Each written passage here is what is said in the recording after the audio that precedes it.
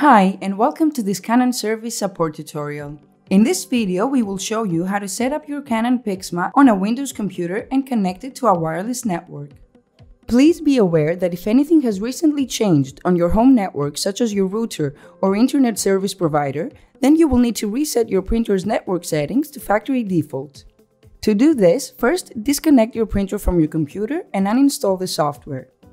For the instructions on how to perform the printer's reset, please visit the support page of your device, download the user's manual, and go to the Restore to Factory Settings section. The first thing you need to do is download the software, which you can find on the Canon website. Once you launch the software and the initial screen appears, click Start Setup. If there are any software updates available, this will now automatically download and install. After selecting your region, country, and accepting the terms of the license agreement, you will have the option to take part in the extended survey program. If you wish to participate, click Agree, otherwise click Do not agree and proceed with the installation. During the installation, your firewall or antivirus may ask you if you're happy to proceed.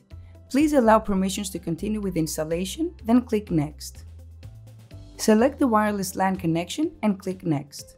Now select the Connecting via Wireless Router method and click Next. Make sure that the printer is on and click Next. Then the software will search for any printers already set up on your network. This may take some time, so please be patient. If this is the first time setting up your printer, it will not be displayed. Click on Setting Printer could not be found on the list, then click Next and continue to follow the connection steps. However, if you have already set up your printer, it will appear in the Printers on the Network list. Select it and press Next, then skip ahead to the Installing Drivers chapter of this video. The setup will guide you through connecting your printer to your network using the connection via cableless setup process. It may be that the printer is performing cleaning, printhead alignment, or other processes. If that is the case, wait for it to finish before starting the setup by clicking Next.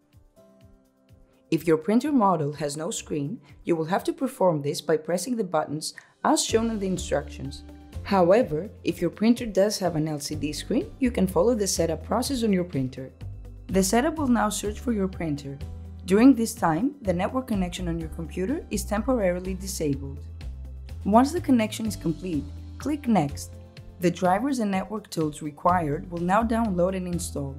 Please wait for the process to complete. If you're installing the printer for the first time, it is recommended that you complete a printhead alignment after the installation is completed. If you wish to complete this process, please press Next and follow the on-screen instructions. If you want to complete a test print to confirm installation, click on Execute. Otherwise, press Next to complete the setup. Now you will be asked to select the software you wish to install from the list, then click Next. If you're not sure which software you want to install at this stage, don't worry as you can always install or uninstall it at a later stage.